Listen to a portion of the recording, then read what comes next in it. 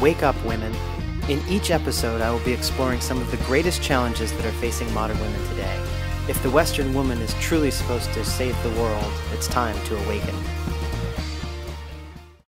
So, what are the greatest problems challenging women today? One of them is your flabby ask. Now, I'm not talking about your ass, I'm talking about your ask. You have a flabby ask. A lot of times it's a floater, and, and that's how you can usually recognize when you have a flabby ask. It's kind of like, oh, you know, hey, would you do this for me maybe? Um, can you just ask? Can you just say, I want this?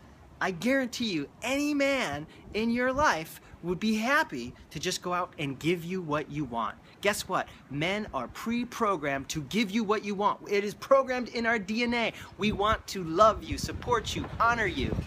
Hold for the wind. We want to love you, support you, honor you, do everything we can for you. And when you can't ask for what you want, it frustrates the hell out of us. And then we're stuck holding the bag, trying to guess what you want, trying to figure out what you want, and then when we don't get it right, you're pissed. I mean, what what the heck? I mean, what the heck, really?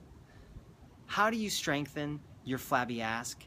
Well, it's real, real important that you do some exercises to strengthen it. Just like if you have a flabby ass, you're gonna do some squats, you're gonna do some yoga, and then you're gonna tone up. It's just the same thing. A flabby ask is a muscle that you need to work so that you can ask and receive for what you want, right? It's really important. It's great for business, it's great in the bedroom, it's great everywhere in life. When you have a firm ask, you get what you want. When you have a flabby ask, you don't get what you want. So one of the ways that you can practice having a firm ask is by starting with little things, little tiny things around. Like all of a sudden you are in a supermarket and there's a can of beans and you can totally reach those can of beans, but you notice that there's a man or a woman, it doesn't matter, right next to you, and you could just say, hey, would you mind grabbing that can of beans for me? Oh, certainly. See what happens. Not at all. They'll grab it. You don't have to be crippled or handicapped or not tall enough to reach it. You can just ask for it. So great ways to start strengthening your ask and receive muscle is to just start in little ways asking for what you want.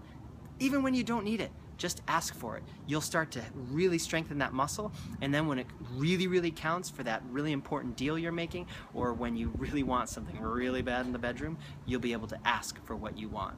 So one of the biggest challenges plaguing women today is their flabby asks. And the only way to really strengthen that is to exercise your ask and receive muscle. Till next time,